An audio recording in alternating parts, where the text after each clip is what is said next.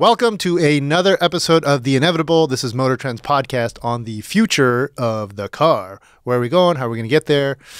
Will cars have steering wheels? What are we going to eat when we arrive? What are we going to read or watch while we're waiting for the vehicle to charge? Just see how we did that? Or, or while it's driving. Or while you it's driving. TV while the car is driving. Exactly. On this, uh, I have some recommendations. He's, he does, but surprisingly, my co-host, as always, is uh, Johnny Lieberman. And this is Ed Lowe. Is, uh, it's me, Ed Lowe, as you know, head of editorial at Motor Trend, uh, our lead influencer, car guy, uh, whatever you want to call it. World's This number one Bosch fan. this is yes, and not Robert Bosch GmbH, as I'll make a terrible joke. Um, this is the Johnny Lieberman episode. The hits continue. We have a his personal one one of his idols. turns uh, out, yeah. turns out, uh, New York Times best-selling author, author of like thirty some crime novels. Uh, Yeah, yeah. Michael Connelly. Some of you may know him from the series Bosch. Bosch. on also, TV? also the Lincoln Lawyer. You know what I'll do? I can just read about the author here. Okay. Also, he's done the Lincoln Lawyer, which was a Michael McConaughey movie from like Yeah, uh, but, 10 but it's also ago. a Netflix show. But here, we want to just hear this here? Michael Connelly is the author of 36 previous novels, including number one New York Times bestsellers, The Dark Hours and The Law of Innocence. His books, which include the Harry Bosch series, the Lincoln Lawyer series, the Renee Ballard series, and the Jack McEvoy, that must be the reporter, McAvoy, McAvoy series, sorry, have sold more than 80 million copies worldwide. That's a lot of books. Connelly is a former New newspaper reporter for the LA Times who has won numerous awards for his journalism, almost won a Pulitzer, and his novels. He uh, is the executive producer of three television series Bosch, Bosch Legacy, and The Lincoln Lawyer. He's also the producer of two true crime podcasts, Murder Book and The Wonderland Murders and Secret History of Hollywood. And apparently, we might find out if Johnny can get past talking about the entire Bosch series. Is apparently he's a car guy.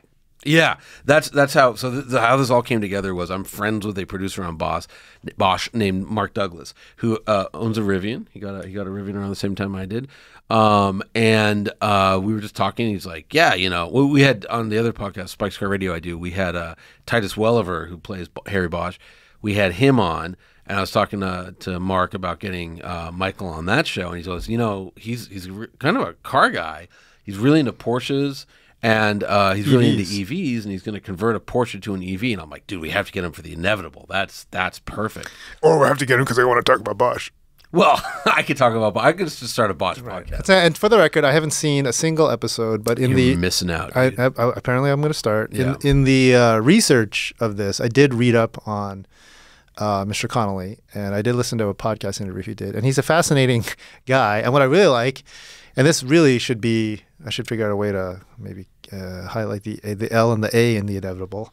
This ends up being another, I think, uh, conversation about how much we love Los Angeles, Yeah. and and every every part about it because this guy, as Johnny mentioned, he spent uh, a number of years as the crime reporter for the LA Times during a very interesting, pivotal, pivotal year. Yeah. ye- series, sorry, years yeah. uh, of Los Angeles history. Not a not a great time in LA. A lot of strife, a lot Yeah, of drugs, yeah, a lot of crime, murders. and apparently lot he of was gangs. a lot of gangs. He was covering this uh, beat and and learned about LA because he's not from here. So, Yeah, and then he did something great with it. Is he turned it into a, a, a really cool character and a bunch of cool books. And let's, I think we should uh, get him in here. yeah, yeah. yeah. Let's, do that. Let's so, welcome. ladies and gentlemen, Michael. Oh wait, Michael Connell. Hang on. Before that, before that, he has a new book. I don't know if you can see this, but you can't. Anyways, it's called Desert Star, and it's coming out uh, uh, uh, November eighth, which I think should be two days after this episode drops. Okay. And um, it's in it's the next Bosch book, and now the Bosch books are really Bosch and Renee Ballard. Uh, together, so very excited about this uh, last one. You might have already pre- you on pre-order, Johnny. Is Oh, right? the pre-order. Uh, Renee Ballard had quit the LAPD, but I think she's getting back in. So very excited about that. And so you, let's be clear, you're a fan, a big enough fan that you will buy these books and read them in hardcover. Yeah. That's nuts. Well, you know, I, I, you know, he had been writing the books for 20 years before the show came out. So I watched. It was one. Of, I didn't even know they were based on books. I had no idea. I was just like, oh, I remember Titus Welliver. He was on, um, on Deadwood. Like he was a cool character. I like that actor. Looks. I like cop shows. And I was just like, well, this is a lot more than a cop show. This is a very cool show. And um, I realized there was like 20 books. And so, you know, I, I read one and, and, and, uh, uh, just, I read them all. I just went, I had to read them all. And so you read the first one, Dark Dark Echoes. A that what it's dark, dark, the dark hours. I think. I God, I, I don't know. It, it- and they're all named like called? there's Mm, dark. some and- super fan. I don't know the names of the books. You know, the the, the they Sure. all the- it's they all blend a little bit. You know Okay. what I mean? Like, Well, I'm only asking because that's where I'm going to start after this after this interview. I'm going to start with I this think- first one. Honestly, I think I read them out of order. The first one I read was the Black Echo is the first one. The Black, Black Echo. Echo. Yeah, everything's dark, black. This, um, the first one I read was Concrete Blonde, which is actually a really good one. Okay. Um, I think it's the second one.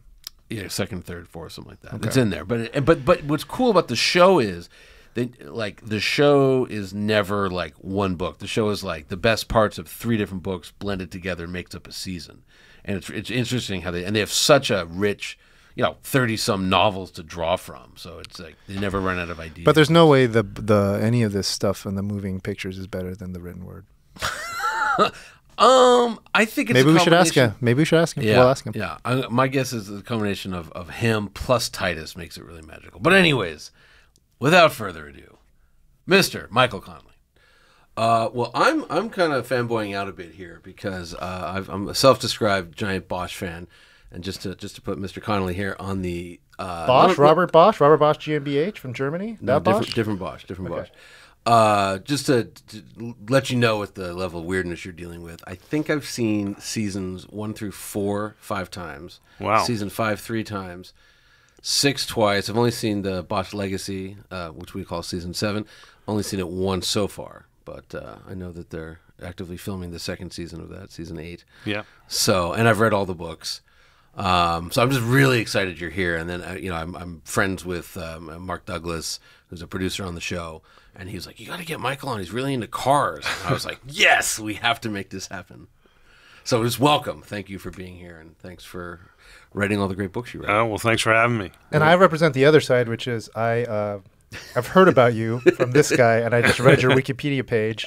I listened to one of your podcast interviews on the way up, uh, and I am now fascinated because I think there's a lot of things about your past and your your craft and everything that I'm very interested in, including the the extent to which uh, your work, the things you've done in your past, uh, involve uh, the car. So. Oh, yeah, know- the car. I, I don't know where. yeah. I don't know where you want to start, Johnny. But you. Well, I I would start here because I know you were a reporter, and I noticed, especially in the earlier uh, Bosch books, like there was you you really had the lingo down of like the you know the, the homicide unit and, and just you know the.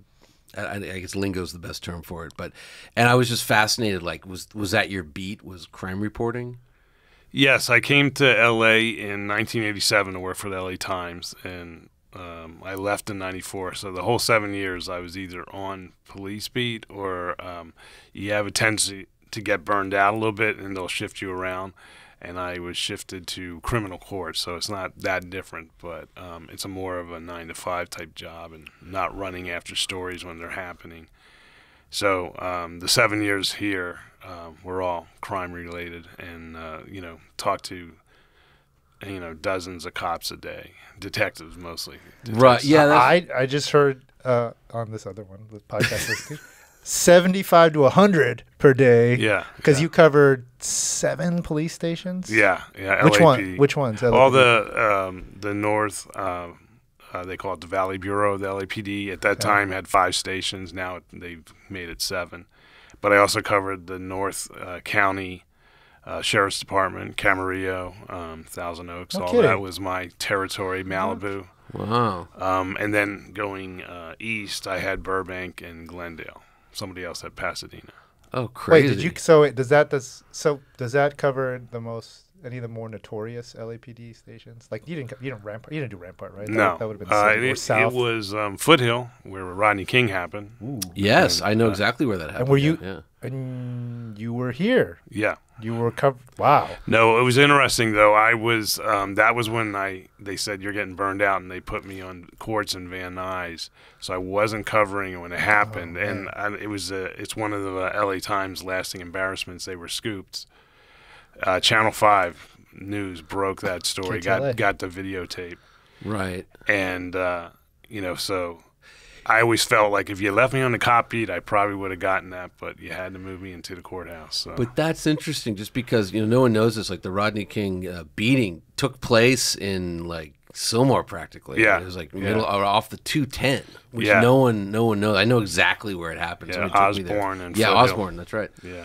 And um and it, it, it's just to tie it back to Bosch for a second because I noticed like you know in the last few books when he got moved to San Fernando, you know it's like that kind of area. So it's it's interesting that that I didn't realize you were ever working up there. Yeah, I was pretty familiar with that. Oh. Yeah, so I go to Foothill a lot. Um, the on the day of the verdicts, the LA Times had this uh, plan of putting reporters strategically all around the city, and I was at the spot where Rodney King had been beaten because we knew there'd be a lot of people there to demonstrate what they thought would be guilty verdicts, and then uh, uh, when it was uh, not guilty, things went sideways. Right. Yeah. Right. So I mean, let's talk about that for a second. Like, what what was that like as a reporter covering the LA riots? That had to be. Well, I mean, they were mostly on the south end. I was on. I was positioned on the very far north, at least on the first day. Then, then they moved everybody t- south. But um, it was very, you know, pretty surreal because there was a large gathering of people. There was nothing. It was basically like a gravel parking lot. Now there's a, a apartment building there. Right. It's yeah, yeah, yeah. Yeah, and um, so there's lots of people there, and um, again, I thought they were going. Everyone was going to celebrate. You know, we were, everyone, media, was kind of caught flat-footed by the Yeah. the verdict, and it was interesting. There were some TV trucks there, and they had their doors open, and they're showing. They have like all these screens of what's being shown on their channel, and people started seeing um, what was happening on the south end, uh, and people setting fires and stuff. And then suddenly, this peaceful group kind of got um, angry, and, Right. And uh, um, I remember I got surrounded, and and some people pulled me away. Uh, you know, people I'll never know, but they probably saved me from getting a beat down. And then they all just marched down um, Foothill to Foothill Station. And the police stations, they kind of look like bunkers, but their fronts are glass. And so they quickly uh, got a school bus and pulled a school bus up in front of the police station so um, no one could get in. Oh, crazy. Um, they've since redesigned uh, the stations uh, to account for civil unrest. Um, but it was, it was, you know, one of those nights of my reporting career that I always remember. right. That's wild. That's I want to go talk about everything you did in your time at the LA Times. But before you came to LA Times, you worked in At a Florida paper, Yeah. and you actually were a you were on a Pulitzer Prize finalist team for coverage of uh, an air crash. Yeah. The shoot, American flight. No, it was a Del- Delta flight that was um, left Fort Lauderdale, where I worked and where I grew up, actually. And it was stopping in Dallas and then going on here to L.A. And so a lot of the people on there were um, from L.A. Okay. And um, so me and two other reporters um, spent a year um, writing about like what the actual what caused the crash and everything that went through that. And then also, it was an odd uh, thing because there were survivors. Twenty nine people survived. So microburst, like a weather event, right? Yeah, it was the the the crash that made them put um, uh, the microburst equipment on every plane. Okay. was that the one that went down in in the in um, the the the swamps? Was that the one? No, it crashed in Dallas. Oh, it was in Dallas. Okay. yeah, okay, and okay. um, and so we spent a year and then wrote this long, long thing that um, got a lot of attention, and we almost won a Pulitzer Prize. Basically, a finalist means you came in second. yeah. And, um, but it caught the attention of the LA Times, so that's how I ended up at the LA Times. And Right. when you were there, so when you were in Fort Lauderdale, were you um, were you doing uh, crime reporting as well? yeah. Okay. Yeah. Like I wanted to when I was in college, I was when I decided I wanted to try to write crime novels. And I kind of huddled with my parents, and they had my dad had the idea of um, going to uh, go go back to sc- go to college, get a journalism degree, and then you get close to the kind of people you want to write about. Yeah, and, and again, I mean, just being a, like that's what really struck me because you know I saw the show first, and then I went back and read the books, and and yeah, it, it, the books have you know I'm sure you would Are the agree. books be- are the books better than the show? Um, it's, no, I mean, I'm sorry, I, I don't know. You, look, you look, I think they're better. yeah, I'm I'll sure. say it. I mean, I'll let you off the hook. Just go ahead and say it. I was, I just, what I would, I just think that I wanted. This is a question I want to ask. Like, like when you all right, let's just jump to here. Like when you met Titus Welliver, like I, I mean, he, who, no one else could play this role, right? Right? I mean, Yeah, no, I agree. I think he's he's Harry. He's the keeper of Harry Bosch now. It's not Right? me, for sure. it, it's Um, it's incredible though. Like it just it just uh, I- everything about and, you know I, I've interviewed him uh, on another podcast and it just everything like like well he's like yeah you know the reason I wear the Rolex I wear on the show is because Bosch's character was an operator, and I had a lot of buddies who were operators, and they would always have a watch like that. They've got in Southeast Asia, and I'm just like, yes, you know, like it's he brings a lot of his own um, interest and so forth to the character because it's it's more uh, it's a younger character than the guy in the books. yes, um, we're taking books that I've written twenty thirty. plus years years ago and and putting them into contemporary LA. So there's a lot of changes and a lot of updating we have to do. Um, And if I can amend my, my answer for a second, I think the books got better as as they progressed. I mean, I, I you know the the the last one, the Ballard Bosch book, uh, was great. You know, like so. Well, thanks. I mean, Yeah. this this this will be the best podcast you've ever done, right? Because you get better at what you're doing. Yes. the more you Yeah, do it. Absolutely, So, you know, God, I, ho- God, I hope so. I mean, con- yeah, yeah. The confidence, you know, your confidence gets better. So, you know, I would agree that um, I haven't written a perfect book yet. I'm working on that, but yeah, right. but I think the books are, are what's the right way of saying it without sounding like a jerk? Uh, more accomplished, I Yeah. guess, as as I go. Yeah, yeah. The writing, the writing, it, it gets you know more efficient. Yet you retain the spark that makes it what it is. You know, um, and it's yeah. I mean, I remember that last one. I put it down. I was like, that damn. I can't. I can't wait to watch this. Is what I was thinking. Like that's a that's a So- good book. But before we, Yeah. something you said, which was which I heard about again in my research, I, was- and I read it too. Very clever from your when you just said it from your father to say you want to write. So you knew at like what 18, 19, you want to do these, you want to write crime novels, and but to go to school as a journalist and then become a reporter, get to know these people for the background. That's like that's like some next level like planning. But the funniest thing is, have you read your own Wikipedia page? Um, I probably glanced at it, but not. In There's a time. line in it that said Connelly had planned on following his father's early choice of career in building construction and started at the University of Florida in Gainesville at the Rinker School of Building Construction, comma, but oh, studying construction management. After earning grades that were lower than expected, comma, Connelly went to the Robert to see Robert Long, but whatever.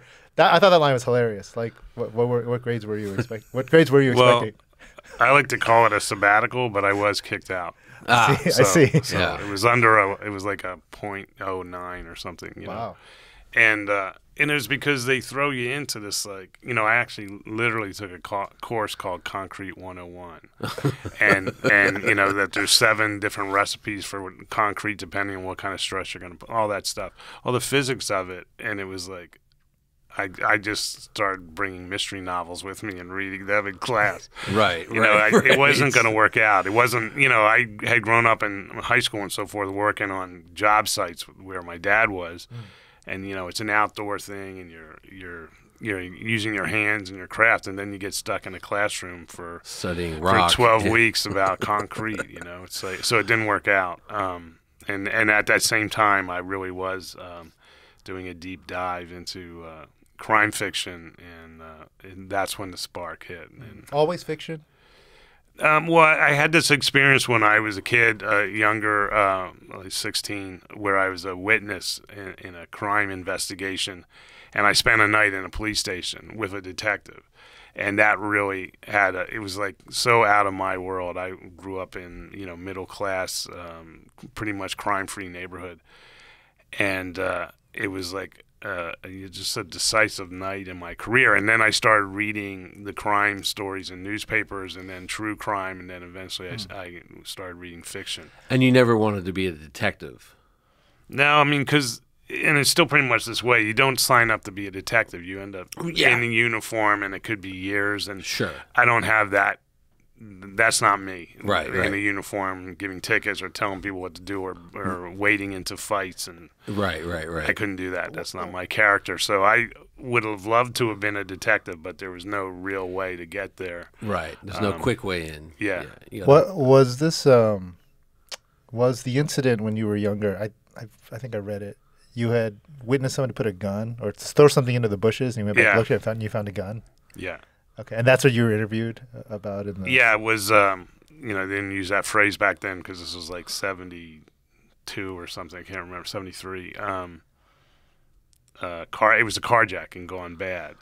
Although they didn't have that phrase back then, Right, right. Um, and I didn't see any of that. I was just I was sitting at a traffic light in a Volkswagen Beetle, since this is supposed to be about cars. Yeah, well, mention that. eventually we'll get there. And um, and I saw this guy running, and I saw him stick something into a hedge. And I was it was late at night. I was coming home from a job as a dishwasher at a resort, and um, so no no other cars around. As soon as the light turned green, I made a U turn and went over and pulled it out. It was a shirt wrapped around a gun. Oh wow. And then, uh, again, this is so long ago, there was a phone booth. so I ran to a phone booth and called, woke up my dad. I called him, said, this is what I did and all that. And as I'm talking to him, like cop cars come racing all through the neighborhood with their lights on. So I knew something had happened. So he told me to flag somebody down. I did and led him to the gun Wow. and uh, the the guy had run uh, down the street and gone into this bar. Um, it was a biker bar, you know, lots of motorcycles out front. He had he looked like you, long beard and all that stuff. And uh, so they went in there and cleared everybody out. Um, you know, back I don't know, so I don't know what the civil rights section, but anyway, everyone in that bar was put on a bus and taken to the police station. So I spent the night looking at them in line. Oh, in You did the purple. You did the whole thing. You did the Yeah. lineup. Yeah, Wow. You were how old? 16. In this is in Florida. Yeah, in Fort Lauderdale. Wow. and um, and then they, the detective told me, you know, that he this a guy tried to steal a car at gunpoint. The guy wouldn't give up his car, and he shot him, Oh. and um, and then ran, and uh, and and you know the, that bar had a back door because they never had they didn't have the guy, but it became a big thing of contention with the detective thinking I'm this, uh, you know, a kid that's afraid to point the finger, and I, I wasn't. I mean, I was probably stupid, but I would have if they had the guy, I would have ID'd him because But they didn't have the guy. they didn't have uh, you know one by I mean not one by one, but several lineups of, of these guys with uh, biker guys with Hell's Angels, beards and right? stuff. Wow. That's wild.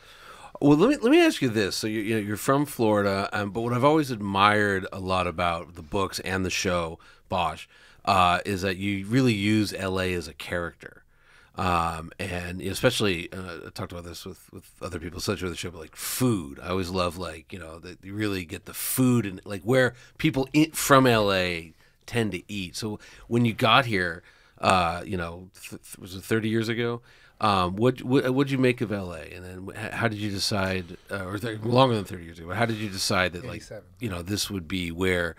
I, I think all your books are focused in LA. I mean, I know Ballard and, Well, and- one of them called the poet starts in Colorado, and maybe that's where you thought I was from. Colorado. yeah, yeah. Oh, that's Um, the the the the one I, I haven't read. the yeah, reporter. Yeah, yeah, yeah. Um, But Ballard but, but and- it ends and- up in L.A. Everything is really L.A. Yeah. centric. Yeah. So you talk about like your first impressions of LA and how I mean I'm assuming Well- you like the place. Yeah, I mean, I I wanted to. I mean, that's the story I wrote about the um, plane crash. Got me a lot of interviews around the country. Like, I, so I went to Chicago. I went to the um, excuse me. I went to the uh, Orange County Register, um, and then I went to the LA Times. But I was hoping the LA Times would hire me, and they did.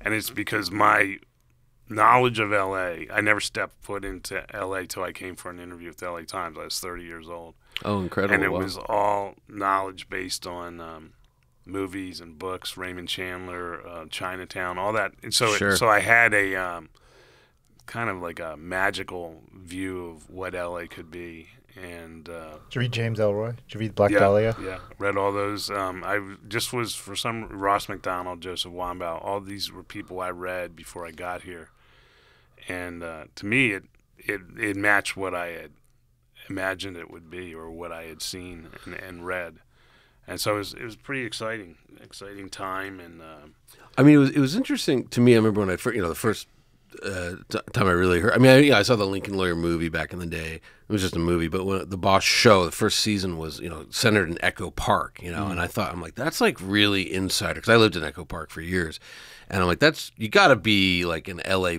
You know, you'd never put a story in Echo Park. You know what I mean? Like unless it's like a gang drama or something like that. Um, For those so listening, Echo Park is where you go to get a fake ID, amongst many- well, amongst- heroin amongst back in the many day. other yeah, things. Most, mostly heroin when I lived there. But uh, yeah, it, you know what I mean. But it was uh, it was I was like, this is this is like you know some really insider stuff, and it's it's just not a you know it's not a you know all the people producing the show live in Brentwood or whatever. You know, it's not. So I was I was just like, wow, this is really cool. But So- when we started the show, we were kind of aware of what LA shows usually show. And we had this goal of never going west of La Brea.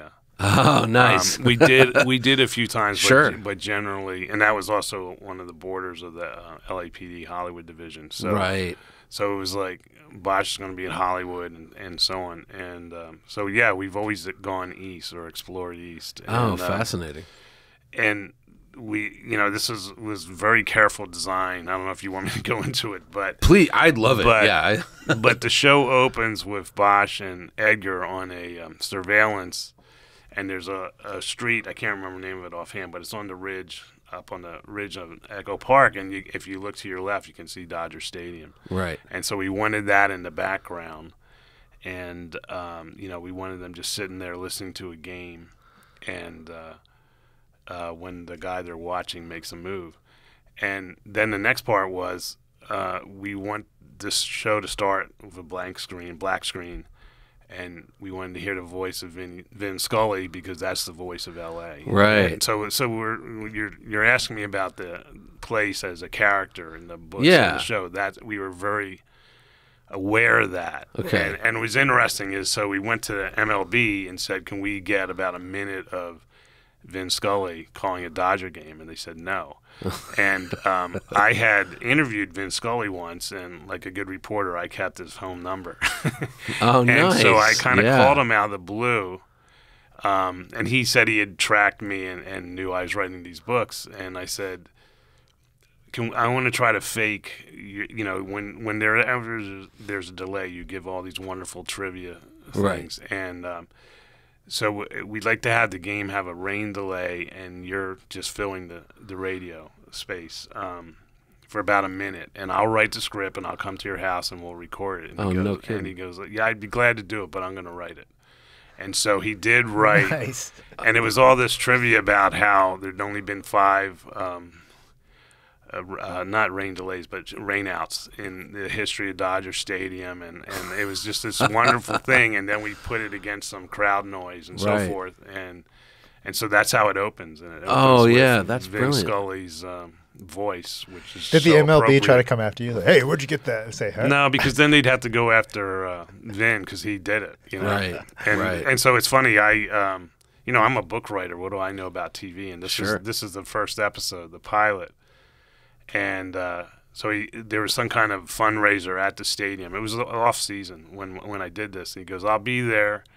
And uh, we'll find a space and we'll record it. And so I actually recorded on an iPhone, and it's the first words you hear Yeah. on, on on this show. So I really felt like I had earned my stripes as a producer, Right. even though I had zero experience. That's amazing. I mean, but it, it's it's little stuff like that because you know, again, as an LA native, it's very obvious. Like somebody really likes this town that's making this show. you Okay, know? let's let's plug the. Pi- Where can I watch the pilot? Is that on Amazon? it's all Yeah. Amazon. Amazon. Okay. Yeah.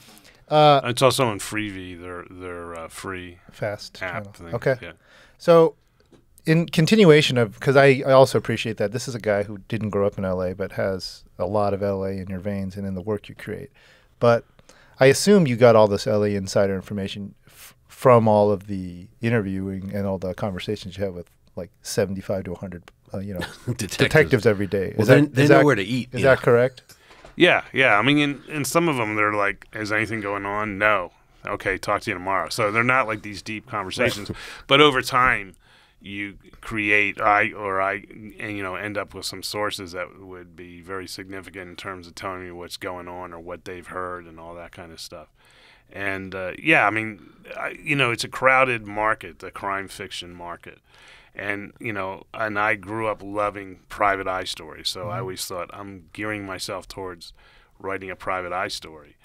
Um, but then I, you know, um, I'm reasonably smart, and I realize I have an entree into this world of a one of the most famous police departments. Um, for notorious as well as I was, I was gonna as- say most famous in this Yeah. country. Yeah, yeah, yeah. and uh, and like that's what I got to use. So I, Right. I, you know, got rid of the idea of writing a private eye story and said I'll write a LAPD detective. But I I wanted to give him all the stuff you see in the private eye stuff. You know, a guy and- who and- feels like, like he's an outsider. Yeah, and he is. He's yeah, it's wonderfully done. He is an outsider, and he's you know, I mean, uh, spoiler alert, he becomes a private eye uh, several Eventually, times. I yeah. got there. yeah, yeah, yeah, yeah, yeah. So did you pick up this this uh, habit, skill, uh, reporting style from when you from in from Florida? Like, were you were you going into like is that how you do? I mean, what do I know about like the crime beat? Do you you just go and visit and, and then you you brought this? Or was that unique to your experience as a reporter? No, I mean it's it's pretty much what you do. I mean Fort Lauderdale was a real small market compared to L.A., and that was the kind of place where I could just like walk in. You know, you, you can't just walk into any LAPD facility.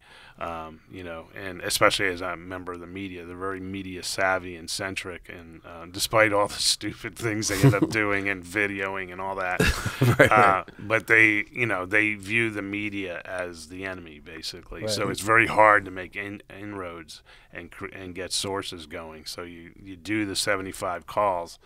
It's almost like being a salesman. Like if you call 100 people to try to sell something, two will buy it. You know, so you got to keep those numbers up.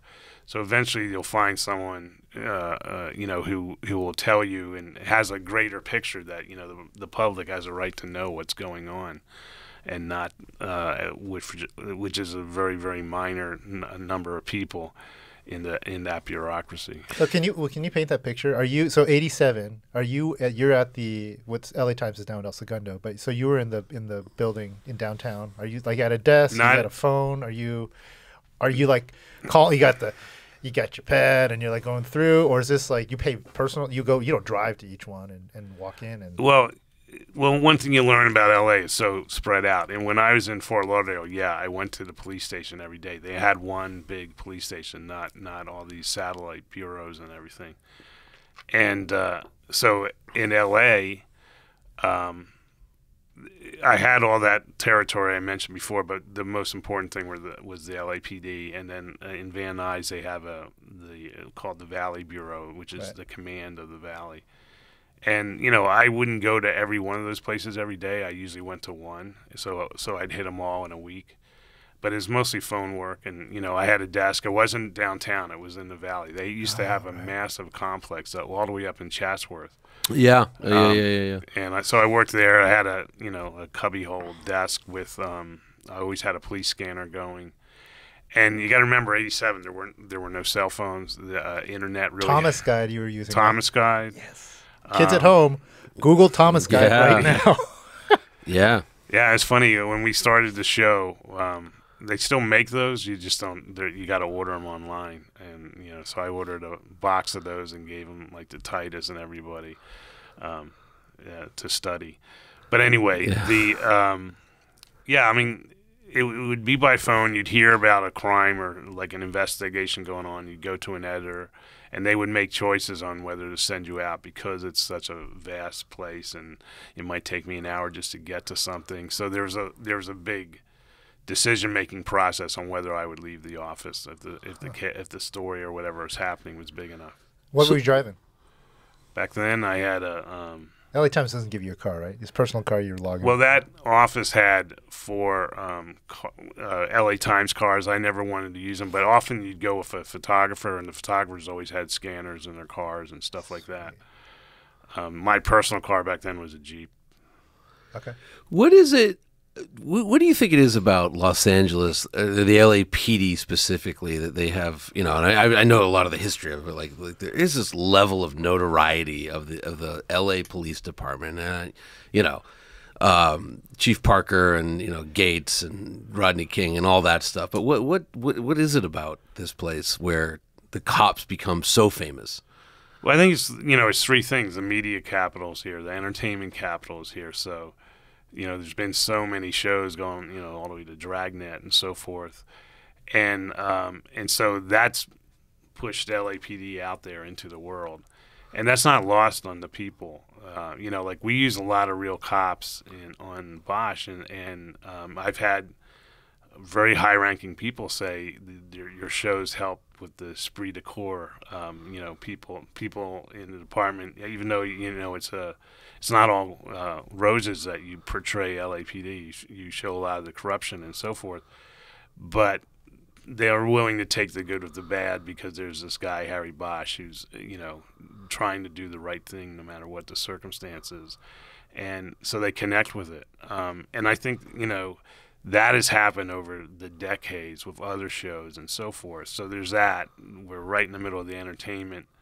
uh, capital of the world in a way, and um, and then there's also the innovation. They they are an innovative department, you Right. know. They, yeah. they invented, Mobile policing. yeah, they invented SWAT. They have the biggest uh, uh, police air force in the world. You know, 16 It's a sec- helicopters. It's also the Yeah. second largest police agency after NYPD, I believe, Yeah. but it has the largest um, geography by far. Oh, by far. Yeah. Yeah, it's yeah. the the I think the cop to to whatever human population citizen is the ratio is like way off of like what it is in New York in terms of because because even though the density is New York's very dense, they have way more people in a much smaller like area. Yeah, I mean that's that's really the source of the problems with LAPD is long ago, and um, Gates was a big believer in this. He was the police chief um, when I was the uh, reporter.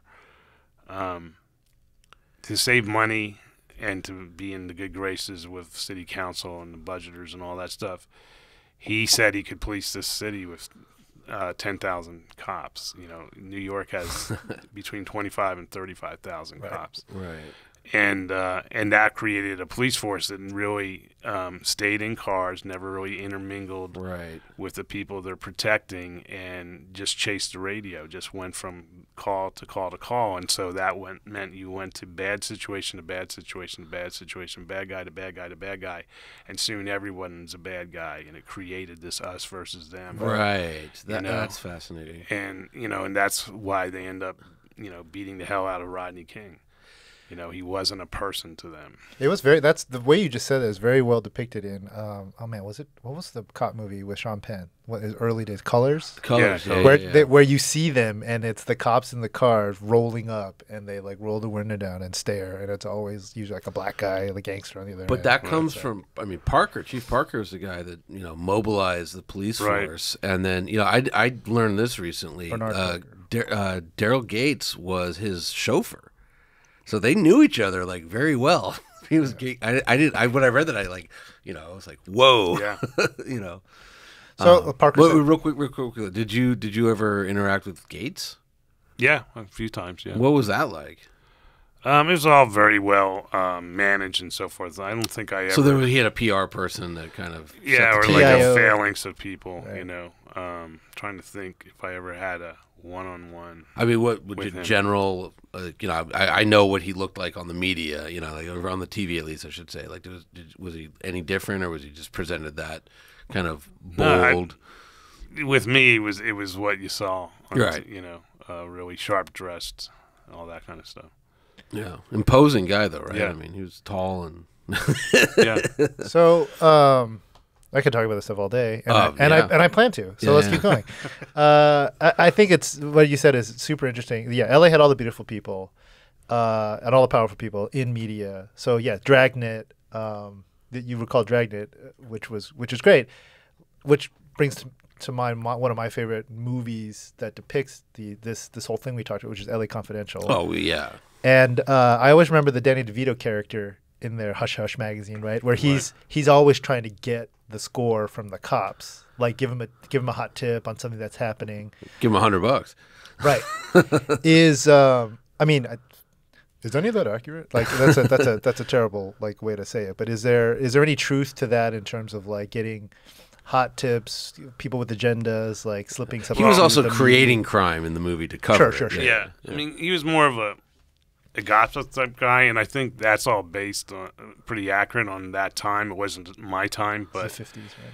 but there's you you always had to, you know, if someone's going to give you something, there's got to be an agenda. Like you know, if they're going to give you the uh, something that will lead to a scandal for somebody, it's because they want that person out of the way so they can move up or whatever. You know, so, so Right, you always right, got to be aware of that. Doesn't Right. mean it's not newsworthy, you know, but you, you just are always aware of agendas. That's why you really um, you want to build your own sources, and um, and it's just in a place like the LAPD, it takes a lot of time. Hmm. You know, um, I mean, what you were talking about is, is is kind of the crux of uh, L.A. Confidential, where you know they uh, Kevin Spacey's character they they take away his, him being able to be an advisor on the TV show, Right. and that's how they get them to play ball. You know, That's so the big. That's the big punishment. yeah. So, so in addition to um, the Rodney King beating and then the LA riots that happened afterwards, your, your time period from eh, 87 to 94, what were other big notable um, occurrences, happenings, crime situations did you cover? um, well, it was the um, that was the highest homicide rates the city's ever had. right, It was the because it was the crack epidemic. right, uh, really started in '84 before I got here, but it w- watched in. So the the highest uh, numbers of homicides in the city all occurred in the like '88 to '92 um, period. So it was a lot of, you know, there was murders every day. You know, it was just, uh, you know, I can't think of anything that was. You didn't North Yeah. Hollywood happened after you left, right? That happened after I left. and uh, OJ was right OJ after? happened a month after I left. Right, Oh, boy. right, right. So Uh, I had um my OJ story is that I was leaving, so I trained a guy um, uh, to take my place, and um, and then I was like a month into like, hey, I'm a full time novelist. This is what I wanted to do since I was 19, and Right. like, like kind of living in that world. I had a, a house uh, that had a view of the city, and um, you know, and I'm in there writing my book, and my wife comes in and says, you know, you gotta watch this thing on TV, and like I was watching it on TV, and then I could look up and see the helicopters slowly, you know, OJ's run. But when he when he finally gave himself up, there was like this tremendous knot of uh, uh, reporters Yeah. at the gates uh, to his house, and I saw the guy um, who took my place. So I was thinking like I could be here as a full time novelist. Or I could be there, and man, I'm glad I'm not. I'm not there. I'm blanking on the guy's name. You probably know him, but he was a reporter at the LA Times, and now he's, he's a law professor. My wife's a lawyer. Um, and anyways, he he did a, an auction for charity. One of the things he auctioned off was that photo, the Pulitzer Prize winning photo um, of of the Bronco chase. Uh-huh. And I have it on my wall. And he tells a story on the back of it. And it was I, the the reporter. It was like his Is that Miles Corwin? I think it was. It was like his first week in LA. He's from like Nebraska, and he had a Thomas guide, and that's why. And he couldn't. He didn't know where anything was, and then he just followed a news van, and then he like hopped on top of the van to get the still photo, and got screamed at by the you uh-huh. know the the video guys.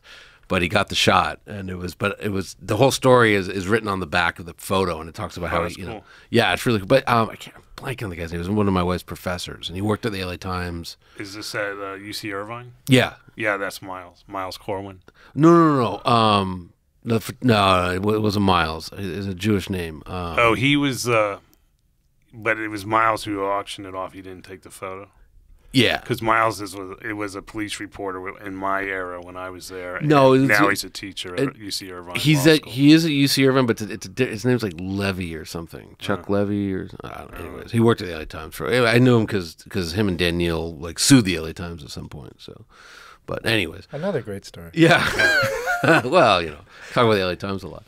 Um, let me ask you a question, and, and, and one of the big differences between between the books and the show was uh, was uh, Chief Irving.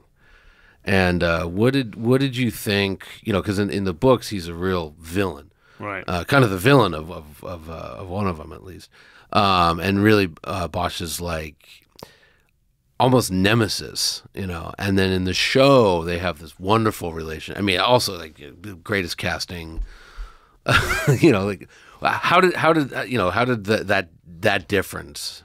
What's And what did what did you make the- of it? And, the key is in your own question uh, where you you compliment the casting. So um, the showrunner is named um, Eric Overmyer, Yeah. and he works on a show called The Wire. So he, he knew many of the actors, and, and we've used many of the actors. yes, you have. And um, so there was that. And any show always starts out with uh, you're saying, let's get the best person for this for the the role. Right. You know, it doesn't matter uh, what color they are or anything like that. You know, male or female, just get the the best actor we can get.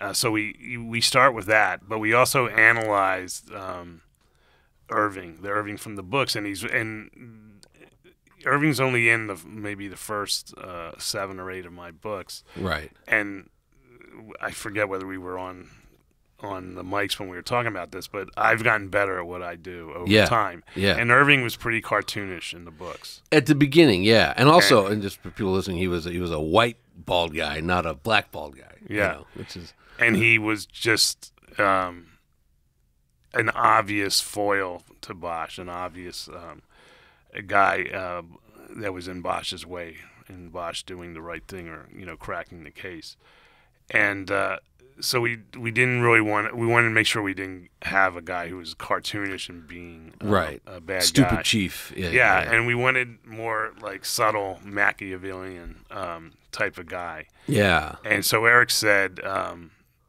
Lance Reddick would be perfect for this, except he played um, a deputy chief on The Wire, and so Right. we, we're going to have to convince him that this will be different, and over time it will be it will be different.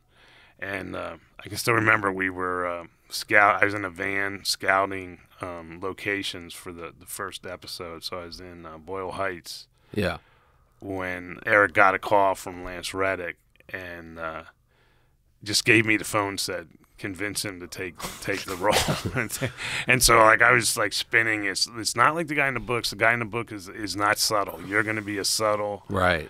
uh, Machiavellian guy who's playing a long game that sometimes Bosch will realize what's going on and sometimes he won't. Right. Um, you know, he wasn't the chief at the beginning. Right. He, you'll become the chief. Um, you'll even think about running for mayor. So we, I was just kind of spinning stuff, uh, almost off the top of my head. Although we did have plans to have this character, um, you know, become a bigger, have a bigger sway over the department, and therefore Bosch. Because he he's agreed. he kind of you know it's funny he kind of has like the most growth uh in the show you know Mm-hmm. like Bosch is you know starts as a detective and then you know in in season six quits as a detective um but like Irving yeah he's a mayoral candidate and he you know it's it's a fast you know it's it's it's also like just when him and you know Lance and Titus are going head to head like the you know the magic that's captured on camera like especially especially you know well season two obviously but season six was just like i don't know i i, I, I was just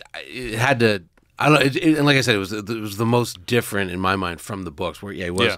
not like cartoonish but you know kind of just a bad guy Well, also Jerry Edgar's really different too, and, and he's hardly in the books he's at all. not in the yeah yeah yeah and and he when he's in, he's like I kind of built again. He's another one who's who's uh, I didn't do a deep dive on character. I was so c- much concentrating on Bosch. These other characters are kind of cardboard thin right in the books, in the early books. Yep, and, yep, yep. Um, you know, and and he's another he- guy from the wire right I mean, Yeah, yeah yeah. so Is it normal for the author of the source material to be that involved in the pilot production? I- where I you're- don't- Where you're convincing principal actors to join. Yeah, no, I mean, it, it, it, I, I don't really know. Uh, I don't think so. Um, but but remember, the, the it was Amazon. Amazon sells a lot of my books, and so they kind of set that table. And, right. and also, I'd been writing these books for at least 20 years before Amazon came along, and I wasn't just gonna. I've done deals where I just give them the book and say good luck, and I hope it's good. And I wasn't going to do that with the character I've invested 20, uh, 20 years in. So I said to them, uh, if you want to do this, I'm coming with, you, and I'm going to get certain things in a contract. You know, like uh, Nice. I What are you listed? Are you listed as executive producer or? Yeah, Nice. and like I in my contract, it was like every shot had to be filmed in L.A. because the show L.A. is a character, you know, and they could have won, you know. I I created Gone a to show. Toronto or Sydney yeah, no, or something. I, I created a show back in the '90s called Level Nine. oh yeah yeah and, yeah sure And it, the lead was an LAPD detective, and they shot it in Vancouver. And there's there's a Tax truck with all these palm trees and pots, and they wherever the location is, they- this truck would come in and they put up palm trees. It was just it got canceled after six episodes, and uh, you know why. I, I kind of know why. right And and so I learned from that. So I said, you know, Bosch and LA are are, are you know they're- Synonymous. Yeah, yeah, and so you got to film it here, and and they agreed. What um, was one of those experiences? Uh, does that include Lincoln Lawyer, the original, or the Netflix, the the, No, the movie though. the movie? Movie was yeah. a long time ago. I know. In terms of like you giving over your source material, and they kind of ran with it in a way that maybe you didn't like, or, or you was that a or no? It was one of those. Well, what happened was the um, that was a five years from when the book came out to it became a movie, and so pretty quickly after the book came out, they sent me a script that I thought was really needed um, a lot of work, and I wasn't even sure uh, they were following the book. Like, had they read the book? Right. Um, and I sent like a long, I think it was like nine or ten pages of notes, and then I became persona non grata. So I heard nothing for for four years, and then um, uh, someone called me up, a friend of Matthew McConaughey's, who I knew, called me up and said, "Hey, Matthew just agreed to do this and wants to meet you." And so then I had a conversation with uh, McConaughey, and I said, I'd be happy to meet you, but I haven't seen a script in four years. I don't know what you've agreed to do. And so he he emailed me the script, and it was by the same writer, and it was like edition 15. So this writer had stuck with it and wr- and wrote a pretty good script. And I I happened to be in Florida at that time, and I flew to Florida and read the script and met Matt, and I like just got off the plane thinking this could be a really good movie, and I can totally see McConaughey in it.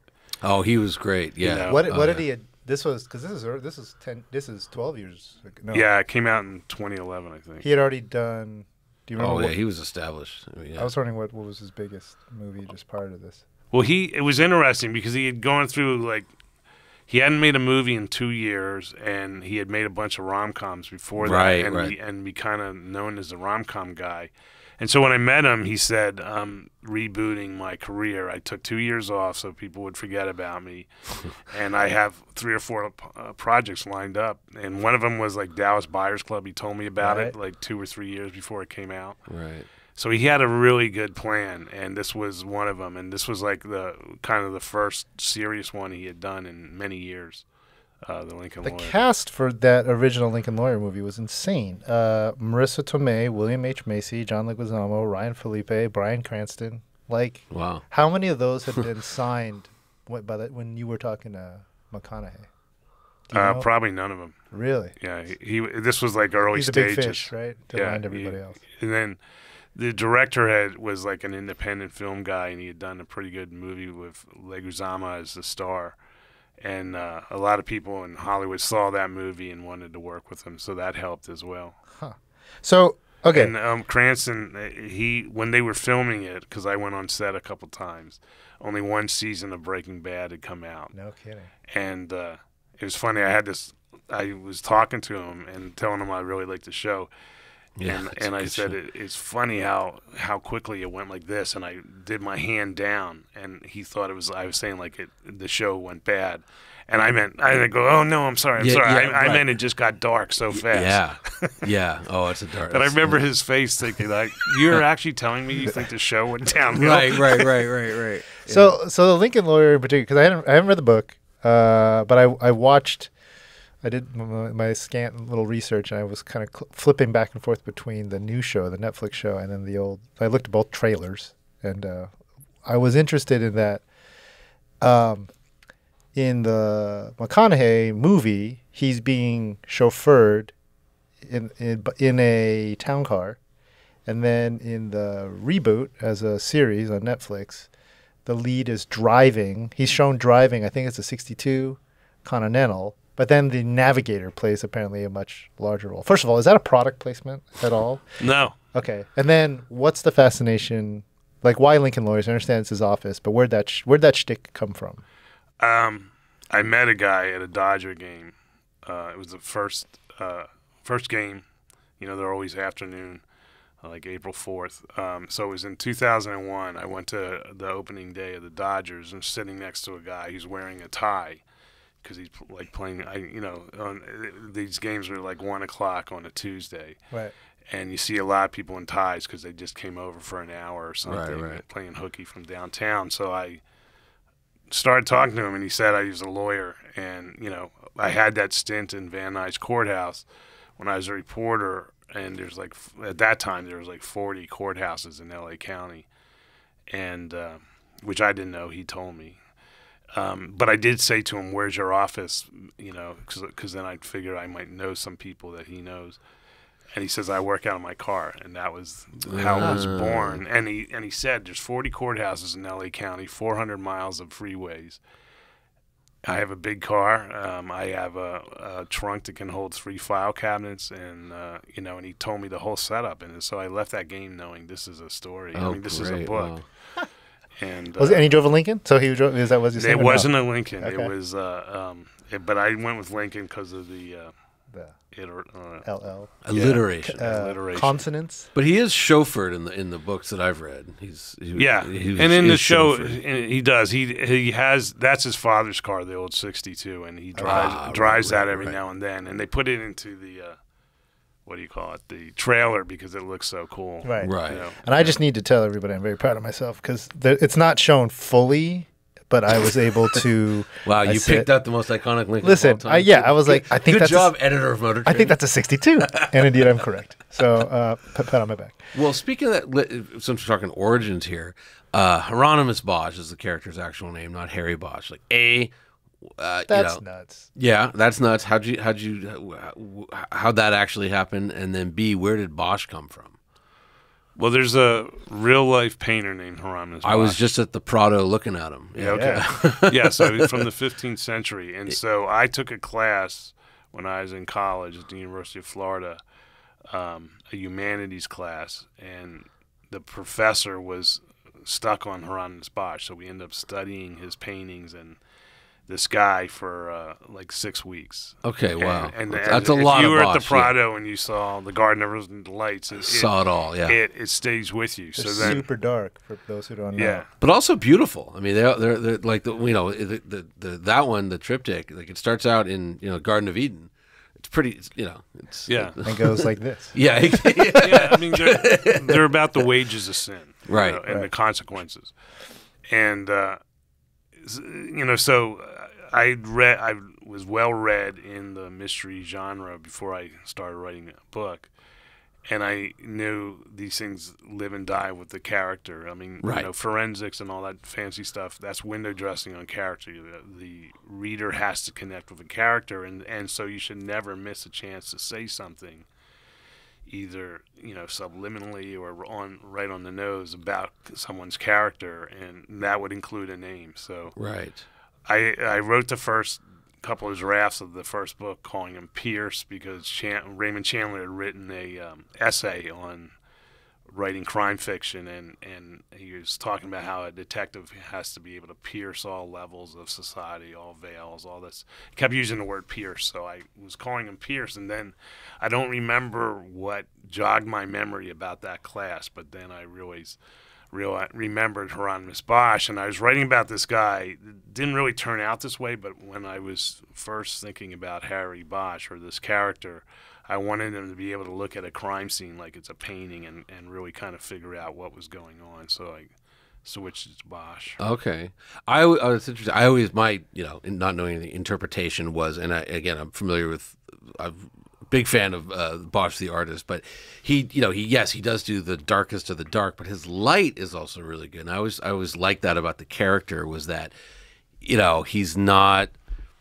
I don't know your your typical LAPD person in that he you know he seems to have a lot of empathy for everybody, but also like really does want to you know punish the bad people. Also has this incredible dark side, which makes him you know full figured and interesting. I'll just say, way to paint with a broad brush and ensure yourself that you'll get a ticket every time you're pulled over in, in the city of Los Angeles. Oh, I get a ticket every time I'm pulled over anyway. It's fine. yeah, it's it, yeah, yeah. Unless they recognize me, a lot of a lot of the CH, CHP likes me. It's the LAPD. They don't. You know, they also don't. LAPD doesn't pull you over. It's CHP pulls you over. Right. So, um, and then and then the the, the character, like you know, the, and again, it, it was interesting hearing Titus talk about it, where he he interpreted it as this guy's an operator, this guy's special forces, and he's not a cop. He's not a normal cop. You know, that's this is what Titus told me, was that you know I I see him as like a special agent of the LAPD. Um, was that your intent, uh, or is it more you were more private eye, or, or how did you come up with the character? Um, no, I mean that's what Titus has brought to it, um, the operator stuff, because he's fascinated by that. And Yeah. and other roles he's had, he had to go through training and all that. Right. Um, I, w- the guy I wanted, um, I had worked on a construction job, you know, for my dad, and I worked on a crew that was headed by a guy who had been a tunnel rat in Vietnam Right. and uh, wouldn't really talk about it. But but because I knew he did that, I did research on it. There was a book that came out in the '70s that's about tunnel rats and pretty scary stuff. yeah. And I just thought, you know, the the uh, metaphor of tunnels and so forth. Um, I wanted Bosch to be a tunnel rat. It was as simple as that. Um, And it ties into the Bosch the artist, like underground, dark, horrors. Yeah, and it's just uh, you know it's um it's it's far away from being an operator. These guys went into tunnels with a 45 and a flashlight. You know that was it. Right, right, right. You know, and uh, and and so it's not that kind of uh, character in the books. Right.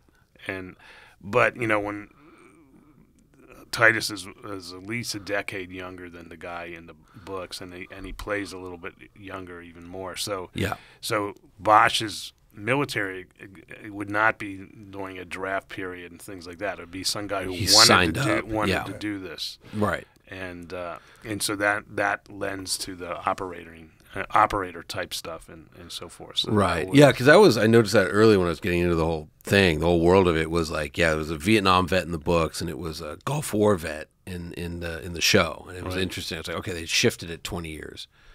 Yeah, I mean, it would be. Uh, it's funny that all comes back down to a budgeting question. To to even set a a show in '90s LA would be very expensive. Just- Sure. just, to line streets with cars and Yep. things like that. So it was a really quick. and Decision. early decision. We're going to be contemporary, so therefore we need to rethink. The guy can't be a Vietnam vet, or he'd be too old because we're hoping to get a good long run out of the show. Yeah. You know, if it had been a movie, maybe. You know, Yeah, because it's but- just two hours. yeah. Okay, we're, I think we're at the point where we need do need to get to cars. But I got one more question. One more. One more Indulge question. yourself, and you're gonna John. love it. you're gonna love it. You're gonna love yourself. this one. The food. So I remember, um, because I think what happened with me was I watched like the the first season, and then I just bought every book and just was like, oh my god, yeah. But I remember the one that re- I'm like, this guy really knows something. You, you, you mentioned Giamellas, you know, oh, and yeah. I'm like, come on, that's like inside local and and uh, and I always see a, almost always see cops at GML's, you know, picking up some hoagies or whatever when I'm there, and like, how did you really brought like, especially the show too, but like the the no, not especially the whole thing, like the food in LA is a character, the restaurants are a character. And like, Yeah, was I mean, that what you know? I, well, I mean, it's it's the reporter in me that you know why make that part up? You know, I you know I Harry Bosch is not real, and but I want him to feel real and, and come across as real. And I'm talking about in the books. yeah, and and so um, my idea was to take this made up character, this fictional character, and really anchor his feet in a real landscape, and so get all that stuff right, and have him go to real restaurants and things like that.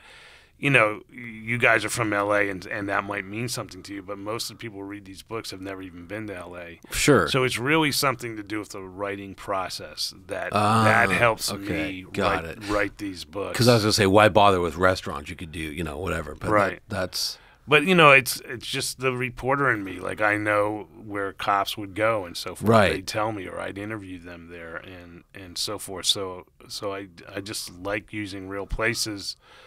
Um, I I would only make up a place if if I'm gonna like murder somebody. It, Sure. you know, and because they might not like that idea. You know. So I what? remember I had uh, one of my books called Angel's Flight. oh yeah. I had two people killed on Angel's Flight, and you know I thought that was like public transportation. I didn't know it was privately owned and all this stuff, and I never got any permission. And one day I'm doing a signing, and um, and I'm my head's down signing books, and someone puts a business card there, and it says Oh, no. executive director of Angel's Flight. and I thought, okay, I'm in trouble here. But he was he was actually he was happy, but he did kind of let me know I should have sought permission anyway. Oh, that was a good book. That was a good season and a good book. That was that was. that Wait, was you have awesome. to as a as a writer of fiction, you need to like let at least let him know. Well, No, I technically no, but to to keep good graces and so forth, you know, it it did come around because we ended up like They- they more than ten years, almost twenty years later, filming there, Yeah. and that guy, uh, you know, uh, greased the skids for us to film there. So- Interesting. yeah. So can can you uh, indulge me a second then and call out some of the um, the favored restaurants for Musso and Frank's. for officers like real like oh, uh, oh, oh. For from from your research For uh, fr- detectives. from my most I of them from- are. Um, are they still around? Yeah, no, I mean, but most of them are like taco trucks and stuff. But um, a big one for Hollywood division is Birds on Franklin Okay. um, because they get a discount there. and so, um, and this is that's a good, really good food there. And usually when I'm in there, um, I see cops in there. I've gone in there to interview cops uh, and so forth. So I, I- you know, and they pick the place. So that that's a big one. Um, a lot of the places uh, along in Silver Lake, uh, just going down Sunset and so forth, the, that seems to be a, a big place. Um, the one that never reopened after um, uh, COVID is Pacific Dining Car, which is across the street Yeah. from Rampart. Oh, Yeah. that's fantastic. yeah. Yeah. Good scene with uh, with Chief Irving in in, uh, in Pacific Dining Car. Yeah, I'm glad we filmed in there a couple times before it went away.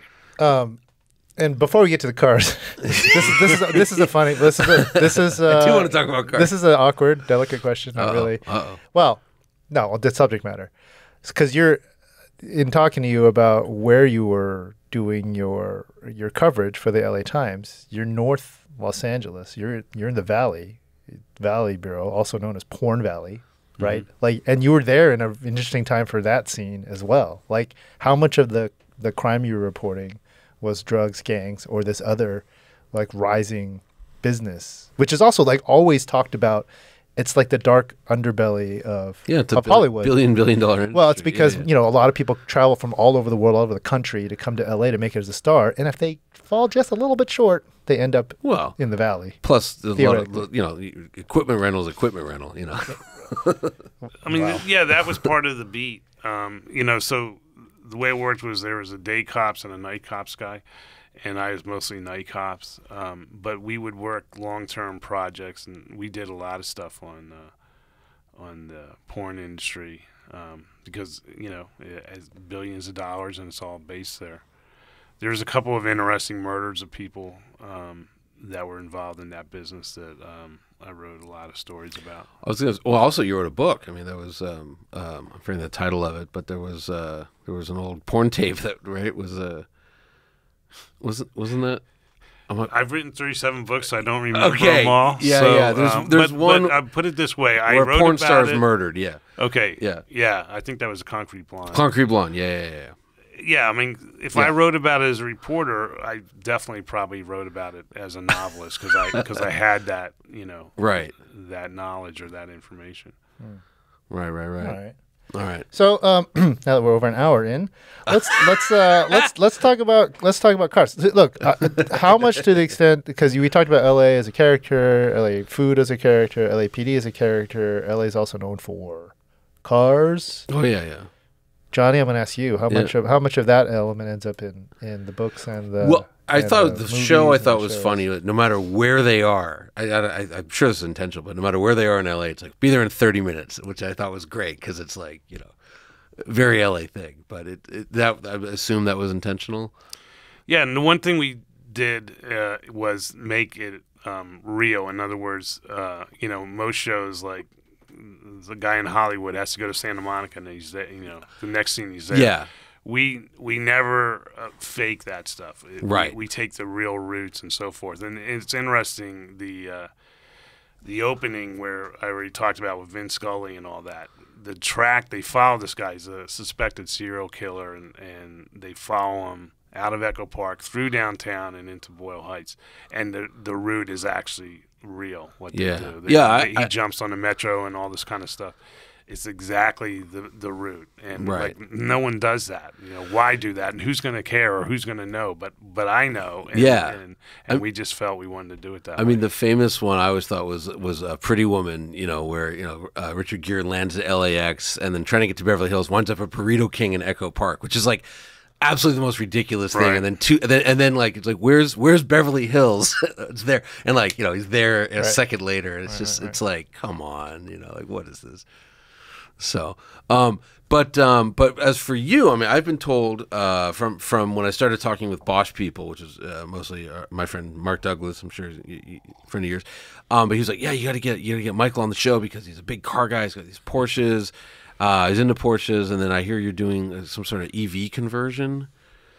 Yeah, I mean, I, I, I don't know if I qualify as a car guy, but I, I am very lucky in that that's probably my indulgence that I change cars a lot. I don't ever have a lot of cars, but I also have a homestead in uh, in Florida, so I have a place in Florida. I have a car there, and you know. So anyway, I um, this is probably sacrilege, so I apologize to No. all, No, all, all the no, Porsche. we're about sacrilege here okay. It's inevitable. on the inevitable. All right, so I, I, I have a 65 uh, 356 coupe. Oh, and I'm nice. On, and I'm on a waiting list that uh, you guys know about Zelectric in Yes. San Diego. Yep.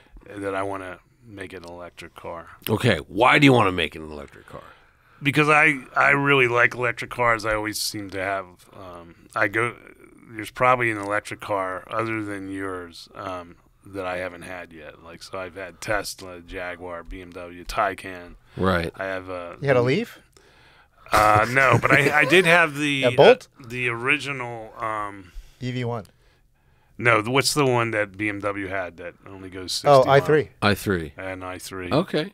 I now have their iX. Oh, what do you think of the? IX? Oh, I saw that. I, I saw you parking. That's what. That's yeah. You were you, you parked on the curb. Yeah, I- What do you, What do you think of the iX? I like it. Yeah, I've it's only good, had right? it um, about four months, I think. Phenomenal interior. Yeah, it's re- it's really good. I mean, the so you're okay. I don't know if you guys have sponsors. You can say No. bad stuff or good. Stuff. Yeah, stuff. we can say bad stuff. It was it was interesting. I, I didn't like the Tesla. Um, I'm an old guy. I'm 66. So the Taycan is a beautiful car, but I didn't like getting stooping down to get. Uh huh. into it. Yeah, yeah, yeah. and give me back problems. Um, uh, so I really do like the the iX, but but I really loved and the the one only one I regret giving up was um, the Jaguar. Oh yeah, I just thought that was a really good car. The I pace. Yeah. Y- that was a good. co- it- And that thing was just cursed by not having competitive range. But yeah, I mean, I had one. It was. It was. We're gonna it was unpack fast. this. We're gonna unpack this in detail. Okay, but it was fast, nice car. Yeah, just just the battery just wasn't there.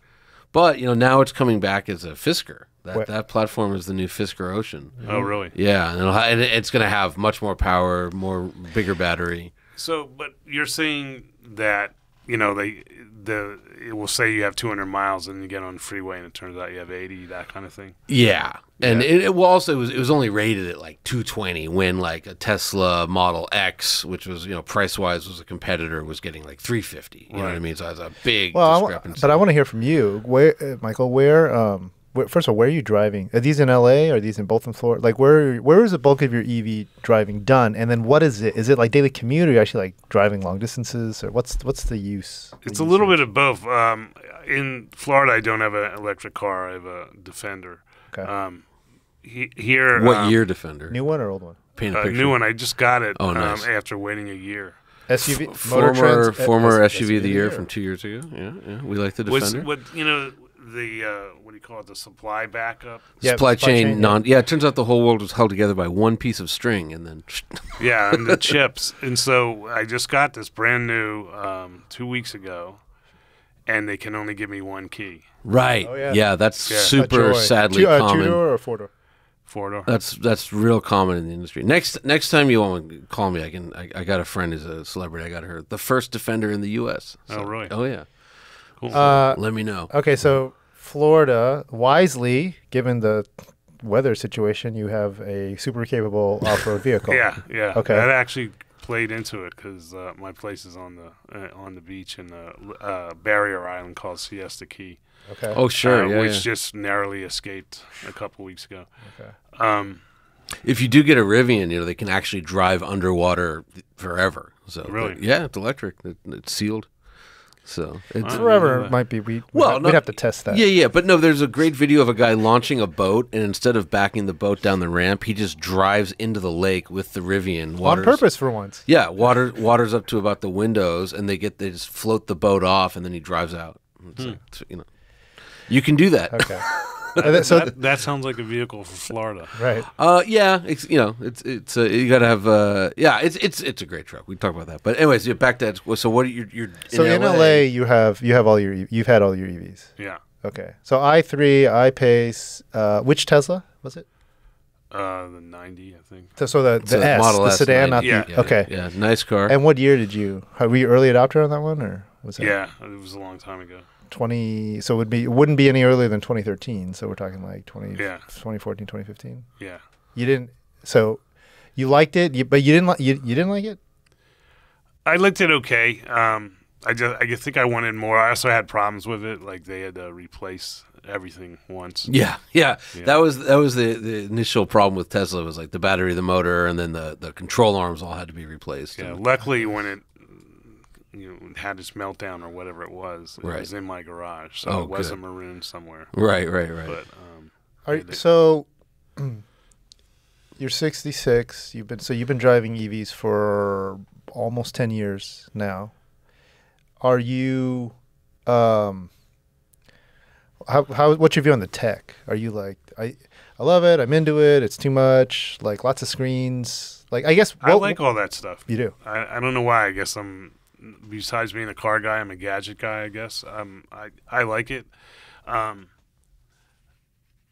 it's interesting how so, many of them are the same, but, but then they also have their little differences and things like that. Um, so I'm I don't know. I you know my wife has never driven any of my cars because of that stuff. She doesn't. She gets like freaked out by like it's like you're in a plane or something, a, pi- a cockpit of a plane or something. Oh, yeah, too many choices, type thing. Um charging. You charge at home mostly? Yeah. Yeah. Okay. Totally. So then right.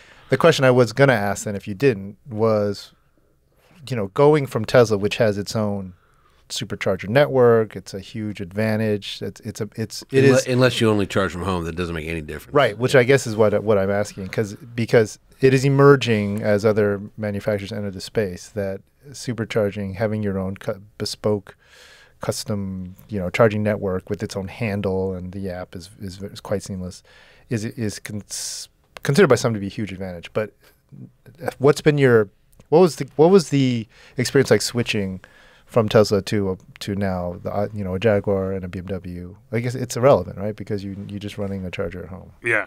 Yeah. I mean, I just answered the question I think I the uh, trying to remember. I, I just don't remember any kind of transition that as being an issue. And there there wouldn't be, right? I mean, if you charge at home, you charge it. It's like you know, you plug in your vacuum cleaner. It's just the same thing. Yeah. I mean, I didn't. I don't have. I mean, I'm very lucky, and you know, we're here in L.A. The you know the capital of bad traffic, but I I work at home. I'm I'm a writer, you know, so. In more recent years, I've had to go out a lot more because of TV shows and so forth, and so I'll go to sets and stuff like that. But I but I'm not putting a lot of miles on my cars, and so I don't even need a supercharger because there might be days where I don't even use my car. Sure. You know, so um, you know. But then so I you had have, uh, you, you had like uh, like a Cayman or a couple Caymans or something like that.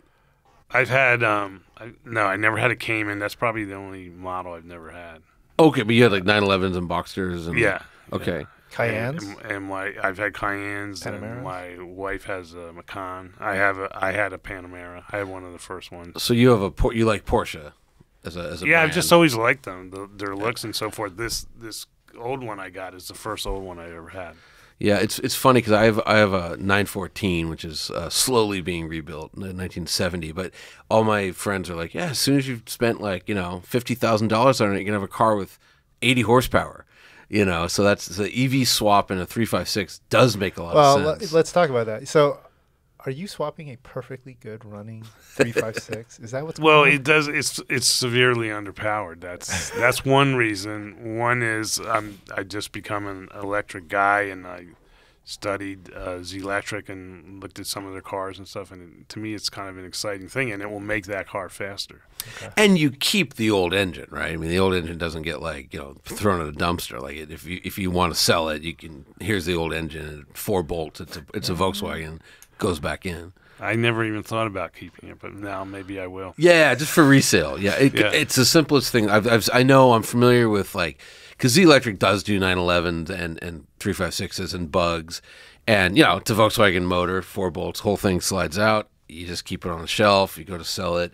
You can sell it as an EV. Here's the engine, or throw the EV stuff away, put the engine back. I might I might have a guide for you if you don't want to wait. My buddy in Austin, Moment Motors, is also doing uh, this Oh, yeah. vintage. This vintage electric transition is is happening in, in a, a bunch of different spots, and he's he's been one of the uh, leaders. Moment Moment, Motors. Moment, Mark Davis at Moment. Oh So, yeah, yeah, I know Mark. I'll yeah. look that up. yeah. I'll shoot you.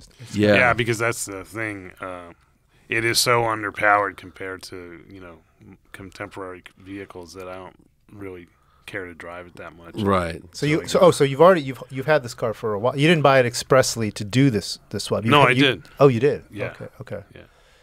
Um, let me. Uh, this is a question I like to ask uh, all the super successful famous people we have. uh, that's true. When, um, when okay, so you were you were uh, crime beat reporter. I, you did. You tried two attempts at a novel. Your third one is successful. You leave.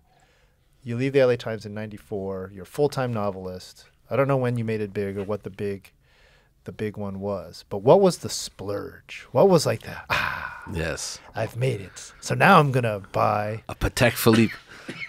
or a car. Let's, like, what's It was a car. yeah? What was it it? was a Boxster. okay. Oh, so it was a Porsche. Yeah. Okay.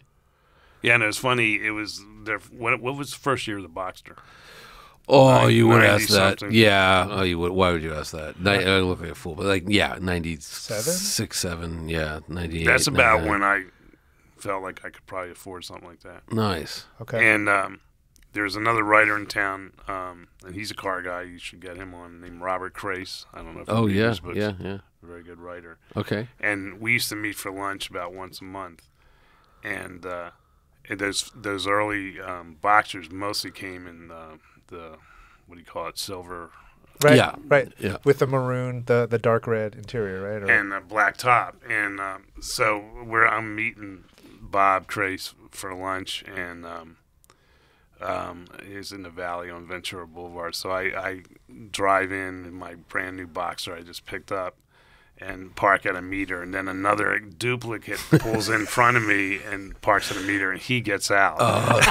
So then you got to trade it in, right? we were just we just started laughing. That's great. But hey, I mean, you made it as writers, which is like you know we're we're, we're writers. You know, uh, uh, you know, we just write for a car magazine, but like to be able to earn a living writing words is ridiculous. You know, Um, yeah, it's a long shot.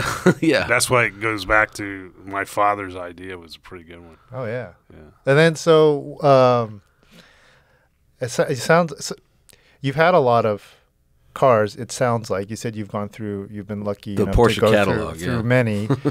um, two questions. One is what's one. What's the one that got away? One you kind of bummed you got rid of, and then tell me about the EV transition because that's actually happening right around the time you you scored and you're you're doing Boxsters like you know GM's got an EV1 out, Toyota comes out with the Rav4 electric. oh, right? those are such small numbers. I know, but then subsequently you get a But the- Tesla was the that sure, was the damn which is like which is ten years, ten years Yeah, later. But yeah. so so any vehicles that you wish you hadn't sold or gotten rid of, and then what's the what was this, the transition like? What got you into that? I assume it was the Tesla first. It could have been the i.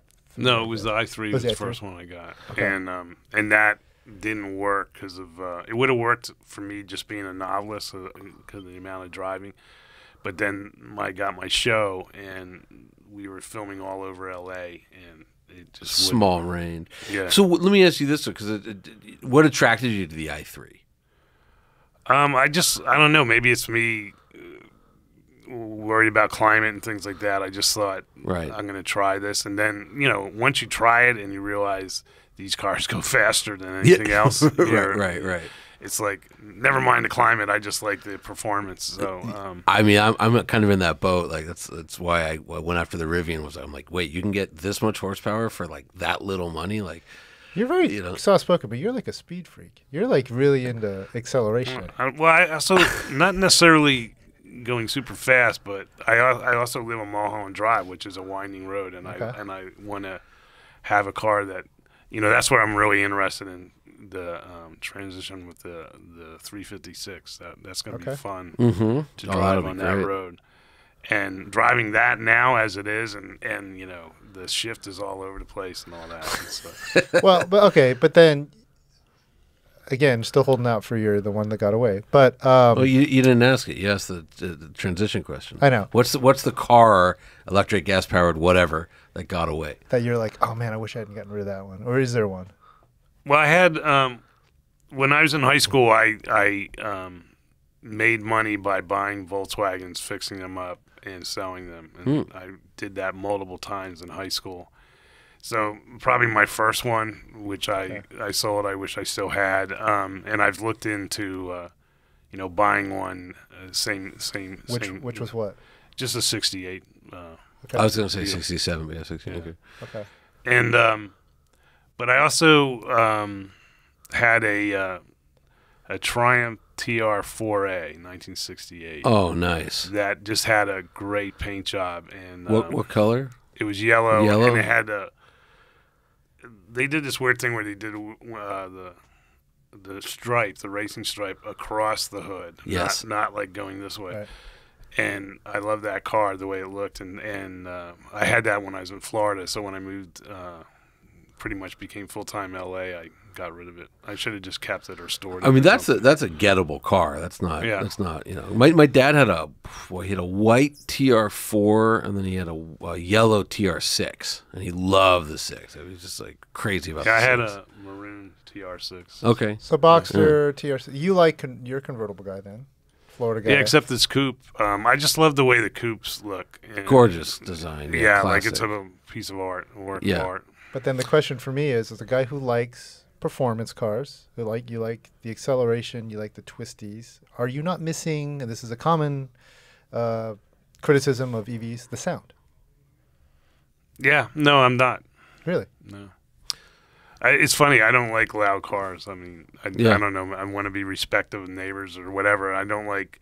I'm also a morning person, so I often leave the house early to uh, get coffee or, or breakfast or something. I don't want to wake up people in the house. So I'm So gonna I've never had loud cars. don't buy don't buy a Cadillac uh, Escalade V. Oh yeah, That's that's the hot tip. that's a super loud car. No, if, you, I, well, if you like your neighbors, it's, it's don't funny buy one. when they announce like so and so is going electric or whatever. So like I ordered a Mustang and then I just didn't take it. I didn't like it Mm-hmm. when it came. I have I'm on the new Cadillac. I'm on that list. Lyriq. Yeah, Mm. and um, see see what that's like when I when it comes. Delayed. That's like delayed at the Yeah. moment. Super. I think it's like Fascinating, fascinating car because we had we had your BMW iX, we had the Cadillac Lyriq, we had the Nissan Ariya, Hyundai Ioniq uh, five, Hyundai 5 Kia. Kia, EV6. Um, oh boy, I'm missing a, I'm missing like five Other. It we was had the Rivian- stacked. We Oh, had yeah. all The- of the these vehicles SUV, at our SUV of the year, and just drove them back to back to back to back to back. And it was very much. I tell people it was like uh, it's this moment where um, uh, we're ten years. We're literally ten years after Elon uh, and Tesla dropped the Model S. It was our 2013 car of the year. So we, we, drove did in this, 12. We yeah. did this in the summer of 2012 where we do our big program. We test all the vehicles. We're 10 years past that. And it's like, okay, pencils down, turn in your homework. What do you got, BMW? oh, you got an iX. What do you got, Hyundai? Oh, you got an i5. And it's everybody's answer is is like the same but different. It's everyone's putting batteries on the floor. They got motors near the wheels. But then the experience itself is wildly different depending on their approach to certain aspects of the technology. Um, I think you've had you've driven some you had some excellent uh, cars that you've driven in your stable. I am very curious what you're going to think about that, about the Lyriq. Um, but Well, also the iX is like such a just such a it, they did a good job. You know what I mean? Like except it's, for the it's- exterior, maybe. well, I, I don't. Do you like it- do you like the way it looks on the outside? People are very very uh, the the grill kind of drives people nuts. Yeah, I'm not a big fan of it. But the interior, I think, is. And Yeah. I think what you were saying about very very valid about Taycan sports car low seating position. And you, what you didn't actually say is BMW when you get in it's like sitting on a, an easy chair. Like the, the hip point is is quite high. And the seat itself is fully covered which is really it's a if you, right now, if you're at, in front of a computer, you should Google BMW iX interior. It's like all leather swath and uh, with like with like nice bits. nice wood. Like t- it's actually Yeah. the, the the buttons are in the wood, which is like a pretty pretty, pretty cool wild. thing. Yeah. No, I mean, I, yeah, I like being in it. The uh, I like the way some of the uh, the other BMWs look better than this. Right. Yeah. Are- do you find, and this is something I wanted to talk about with our guests who are EV EV savvy in particular, because I think I think this is what you're getting at. You're a you want to be respectful of your neighbors. You're a morning person. You're relative to Johnny, soft spoken. Um, are, is it? Um, do you find the meditative environments more so than internal combustion powered vehicles? Like I always, I think about this now because I'm spending a lot of time in EV. I just drove back from our truck of the year program in an electric pickup truck, and it was you know 400 miles from Arizona in a in a car that doesn't make any noise. I'm just like I'm alone with my thoughts, you know, which I is think there is that aspect. Okay. Yeah. I mean, it's funny, you know, with the iX, I, I went on the launch of it, and uh, we were in Bavaria, and um, you know, I was on the autobahn, so I took it up to like 125 miles an hour and set the cruise control, and I just wanted to like met, like see what kind of range you'd get at that speed, and it was like it's like being in a jet, just because like you know it's pretty fast, and yet silent and pleasant, and I was like, wow, this is I've never experienced this before. It's a new experience, and it was like it was very cool. Um, we're getting a bit of a high sign here, so we're going to wrap up here. But Oh. I do want to ask, um, bring it back to the work that you do. You know, again, LA story. You get you write a lot of LA stories. Um, LA is a character, the police and all that. Cars is a. Will will we see an electric vehicle? will will there? are- Are you able to write that in, or do you have some bar for like when? This is a big shift going on in the automotive business, where it actually like pierces the public consciousness. Right? Oh, that'll make sense. Like this character can drive this vehicle, or or LA is like the king of of Teslas right now. Everywhere you go, it's a Model Three or a Model Y. Bosch drives a XJ uh, uh, Cherokee, by the way. So Okay. yeah. like, is there is there? Or are you just like, well, it's perception, adoption, all this stuff is going to lag a little bit, so probably not. No, I mean, well, I'll say two things. One thing about Bosch's car was very much um, thought about, and you know, it's a square car, and he's like the square peg in a round hole. So we wanted his car to be emblematic of him. Plus, it's pretty old. Um, but in the new show, uh, he has a guy who does all his IT stuff because he's still kind of uh, anachronistic about all that stuff. Um, but that guy has an electric car. Right. That's right. That's right. And, yeah. uh, and uh, so you know that character would be of this wave, I think. And so we gave him electric. so I got I got a way to I got a way to end this. I think you might find this interesting. So currently at the Petersen Museum, a friend of ours, Magnus Walker, massive Porsche collector, and he's got a he's got an exhibit. Yeah, I know who he is. Okay, you know he lived in the house that that Bosch in the show. He lived in that house. Oh, he did? Yeah, isn't that wild? Like, uh, what? I forget the name of the house, but uh, it's it's where Bosch lives in the show. Um, I don't know if it has a name. I don't- yeah, it's, it's a great, you know, stilty glass house overlooking uh, L.A. It's, it's off Mulholland, It's uh, yeah, it's on I think Blue Heights or something like. That. And so I was just was driving around with Magnus one day, and he's like, uh, "Bosch." I think I was. I'm like, "Hey, I'm interviewing Titus tomorrow," something like that.